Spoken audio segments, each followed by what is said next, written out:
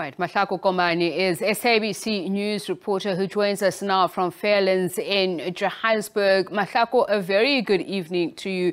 You've been covering these events a lot over the years, and I'm just curious, uh, what uh, particular highlights would you glean from the release of uh, the 2022 matric results?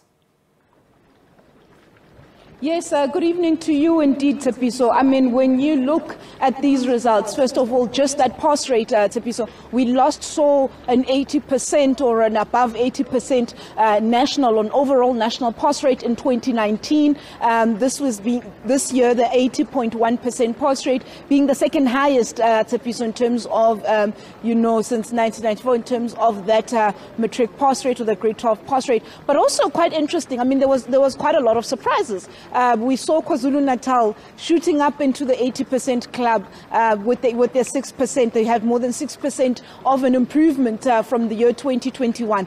But you know, it's a piece of uh, when KZN, whatever happens in KZN has that ripple, ripple effect uh, on the country. Remember that they do bring in the largest cohort of uh, grade 12s at any given year. Between themselves and Gauteng, they have the numbers um, accounting for, I think, uh, roughly 25% of um, any class, you know, at, at, any given year in terms of, um, you know, a national percentage of what they bring into the overall metric, uh, you know, the overall matric cohort. But also, we also saw um, the Eastern Cape also um, improving. They also did show improvement last year.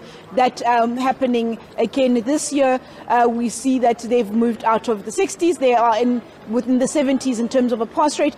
Uh, we also saw Limpopo as well. I mean, it was a province that was quite topical. Um, you know, it had been, uh, you know, lurking there at the bottom of that log, but it would seem that it, even though it is still there, they've also uh, recorded an improvement of 5% uh, earlier on when we spoke to the Minister of Basic Education telling us that they're going to continue working with that province to ensure, you know, to see how they can best help them, um, you know, to continue at this at this rate or at this pace uh, when it comes to uh, dishing out that th those results. But we also um, saw it was uh, quite interesting. You'd know traditionally or normally what you would see, you'd have your um, Free State and then Gauteng or the Western Cape, they normally fight it out for those top three positions. But this year we saw with the improvement of KZN um, reaching that 80s club, uh, you know, the Western Cape uh, dropping, I think, um, is to fourth place. But um, I am joined by um,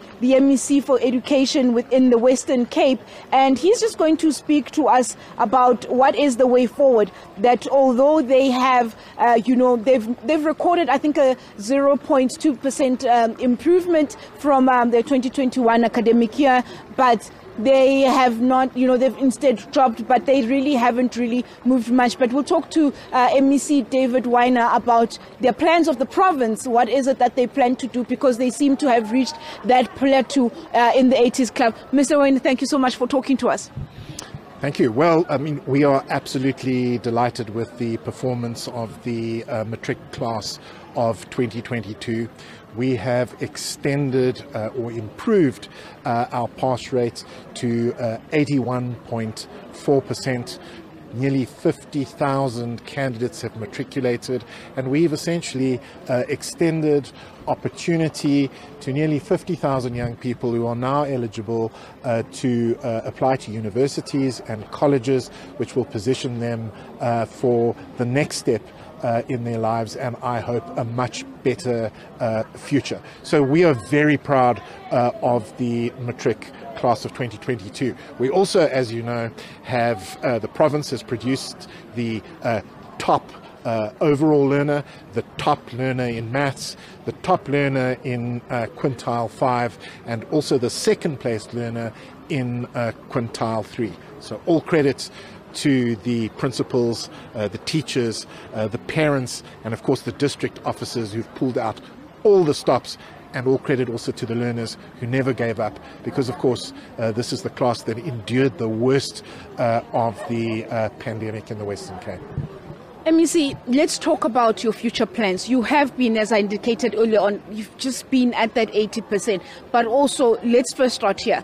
Are you happy with what that 80% contains? I mean, are children able to go and access higher learning? You know, do they have a successful chance of getting into university? It's one thing to just get the bachelor, but would you say when you look at your diagnostic report as a province, are you happy? We are happy. I mean, we certainly haven't reached a, a plateau. Uh, our overall pass rate, as you uh, say, is 81.4%. I hope that we will be able to uh, improve that uh, next year. But I think it's also important to look at the quality of uh, our passes. Uh, we also managed to produce the most distinctions. And as I say, at the end of the day, nearly 50,000 uh, candidates who've matriculated who are now eligible to apply to universities and colleges, and uh, that certainly uh, will uh, uh, position those learners, I think, very well for a much uh, a much better much better future going forward, what investments are you making into the system, um, you know, to make it more efficient, to do what you feel you needed to do to ensure that, um, you know, South African students, uh, especially those in within the Western Cape, are able to, uh, you know, better their future using education? Well, I think the big challenge next year is to uh, to get back on track, to focus on teaching and learning and how we claw back the learning losses that arose as a result of the, the pandemic. And that's going to require uh, a huge investment uh, across the phases, not just in the senior phase, but also uh, in the foundation phase.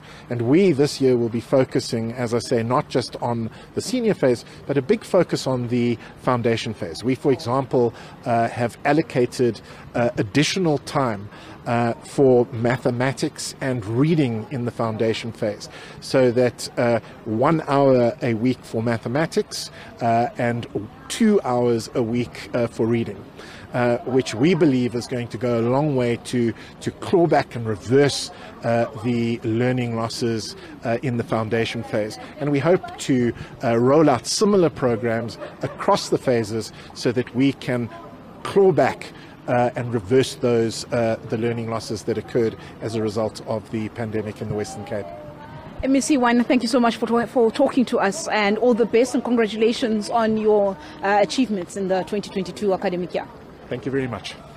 You've heard there, Tapiso, that was the MEC for Education in the Western Cape, uh, MEC David Maynier, just speaking to us about what are their future plans. Um, you've seen that they've received that 81 plus percent in terms of that pass rate, but also saying that they are going to be making those investments in terms of looking into the foundation phase because uh, these are the building blocks of a school child. Uh, they've ad- added additional time for reading as well as, I suppose, mathematics or literacy, but also speaking about um, there will be investments that they will be making uh, within the senior as well as into the FET phases there to ensure that uh, because you know, to ensure that learners are able to cope when they get to grade one. But he also speaks about reversing the effects of um, the COVID-19, uh, you know, the pandemic, those or the restrictions, you know, in terms of the learning losses that occurred during COVID. But he also speaks about, you know, the achievements of the province, saying that they did um, the overall top learner does come from um,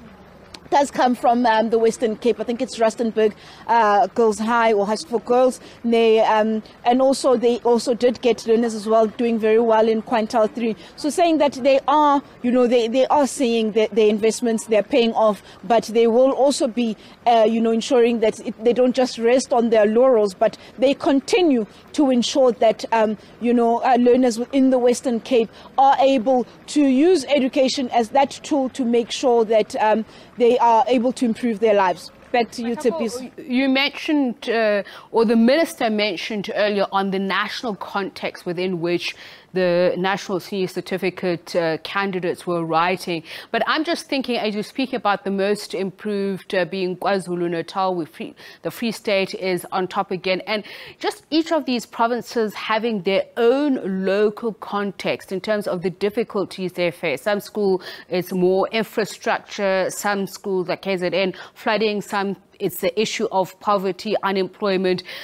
What about the learners themselves when you spoke to some of them?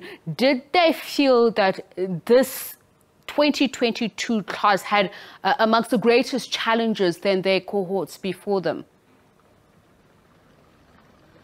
Um, you know, so when we when we were here, the learners that we have been able to speak to, that we know have successfully completed grade 12, would have been the top achievers. I mean, these are learners there, whether you know the achieving or the academic excellence um, was not a matric. Uh, you did not just start in matric, but a lot of them that we spoke to personal decisions were taken that this is, you know, they wanted to apply themselves in terms of their academics. Um, you know, it's a lot of hard work. I mean, when you hear some of these children, they were eating, sleeping, dreaming, and thinking books. That, that, that those were the sacrifices um, that they had made. But you're quite correct. Every province having, you know, its its its own challenges, its own dynamics. Um, I mean, some of the rural provinces, yes, they don't necessarily bring in the big numbers uh, like you would have, for example, in Gauteng, where you see the big numbers. However, when you look at your issues of infrastructure, when you look at teacher retention, when you look at attracting talent, um, especially with, with subjects that um, would be deemed important for, um, you know, the, the, modern world. Those are some of the challenges that they face. Um, teachers speak of, of, of, resources. I mean, we've done countless stories where you see um, those, you know, challenges. There's also school violence, educators feeling safe within the schooling uh, within the schooling environments. Recently, you know, we also had the issue of in some provinces, scholar transport uh, not being procured, uh, some learners having missed that first week of school into the second week of school many different challenges. However, for learners that we have had the privilege of speaking to, saying that for them it is a, you know, a personal decision that they have made that they were going to do well. But I mean, we also saw a range of, of, of learners. We spoke to one learner from Ramphahlele, and um, he had done well. I think he had done well in a physical science. It was, um, yeah, it was, I think it was physical science. You also get um, children that um, have a, a better experience in terms of life and a better support system. It's different as it is different in every province. It's okay. different for every learner. And, you know, the, the personal circumstances are different. Mahlako, thank you very much. Uh, as always, your finger right on the pulse on the education sector. Mahlako Komane, who's been there all day covering this, uh, the announcement of the results, and of course, uh, by province, what those pass rates were, what the challenges were.